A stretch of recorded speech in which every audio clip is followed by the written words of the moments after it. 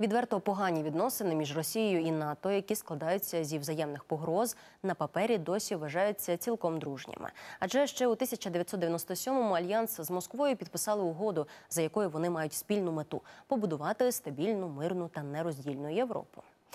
Здається, у 24-му році країни-члени альянсу нарешті зрозуміли час звірити годинники та визнати, що мир і стабільність краще будувати без Росії.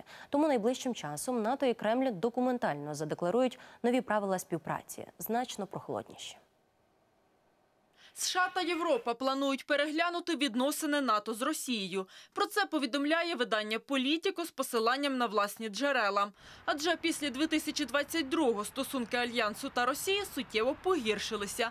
Однак юридично це ніяк не зафіксували і жодних документів чи декларацій не підписували. Та вже 17 і 18 жовтня на саміті у Брюсселі цю помилку виправлятимуть. Міністри оборони країн НАТО наступного тижня почнуть переосмислювати багаторічну політику альянсу у відносинах із Росією. Це відповідь на загрозу з боку Кремля. Хоча офіційні дискусії на нижчому рівні тривають місяцями, це засідання стане першим серйозним діалогом. Проєкту нової стратегії поки що немає, кажуть наближені до обговорення посадовці. Навпаки, точаться дискусії про те, якою вона має бути. Адже в НАТО досі бояться бути надто суворими із Москвою, аби не спровокувати її на агресію проти альянсу. Тим більше деякі країни НАТО, як от Угорщина та Словаччина, відверто симпатизують Росії.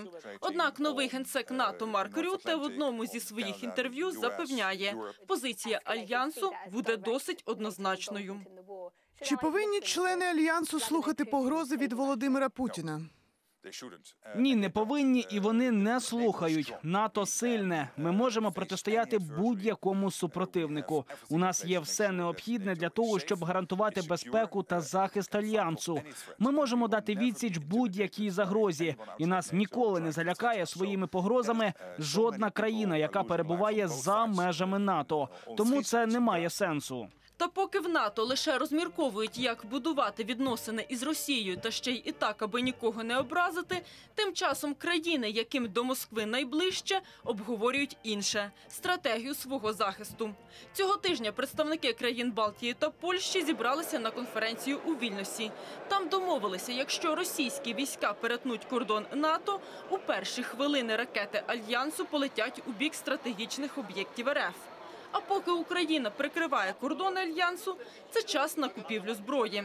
Польща замовила 800 ракет дальністю до 900 кілометрів, якими битиме по території країни-окупанта для самозахисту. Наталія Косінова, подробиці, телеканал Інтер, марафон Єдині новини.